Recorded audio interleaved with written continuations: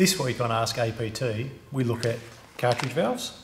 So how to identify cartridge valves, what to do to set them, how to know how to set them, and where they might be used and how to install them in a system or replace them in a system.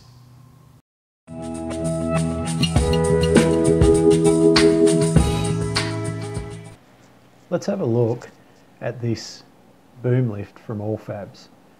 Now it uses fairly exclusively cartridge valves in the main control of the hydraulic system.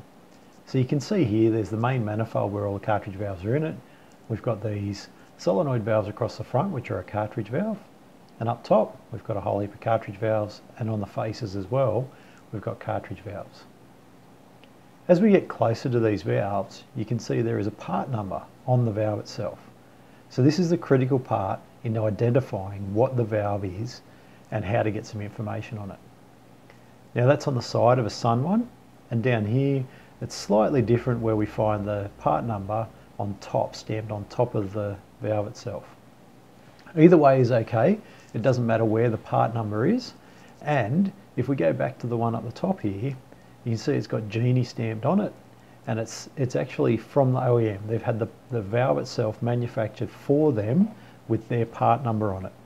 Sometimes this is just so that they can sell the spare parts, but sometimes this is because they've done a modification or it's a special valve to suit their particular machine. So here's another manifold, which is a part of our training kit. And again, we've got multiple valves on it, which have labels. Now on this particular one, the labels are uh, labelled so that we can refer back to the schematic and find out what the valve is and also so we can find it in the block. But there's lots and lots and lots of valves on this particular one which are all different in their application and what they do.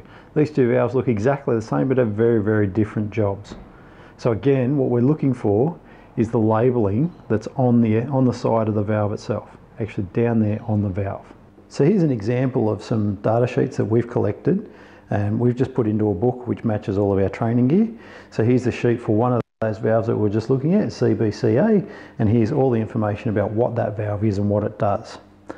Now CBCA is quite a lot different if we turn over to a CACA. So the valves are different and they do a slightly different job. It's only one letter different in the code, but makes a world difference to the way the valve works. So it's critically important that if we're going to replace valves, we need to make sure that we find it in the data sheets and use the correct code from the schematic and from the valve that we're replacing. So here we are, we've got five cartridges in our, in our box here that are all made to go in the same cavity. Now when I say the same cavity, this is a body, a line mount body, which takes these cartridge valves. So this body will accept any one of these valves.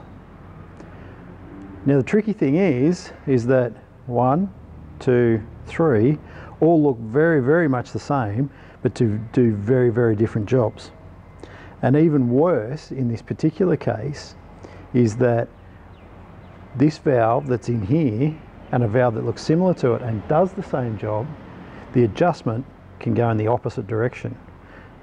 So this one might be clockwise to increase the setting, whereas another one that looks the same, goes in the same spot, but has a slightly different part number, might have a different, part, different adjustment direction.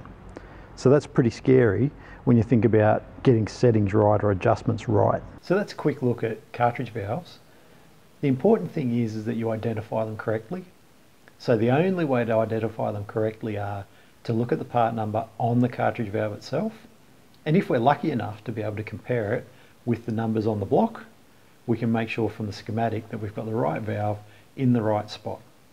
Then we have to refer to the data sheets or to the OEM part manuals to ensure that we get the right valves in the right spot, doing the right job, because it can be very, very dangerous if we get the wrong valve in and it interacts with the system in the wrong way. Hope you've enjoyed this one. Sorry it's been such a long time coming. If you've got a question, put them in the comments below. Shoot me a message or give us a call at the office. I'm happy to have a chat about it and put together something that suits you and everyone else that's thinking the same things.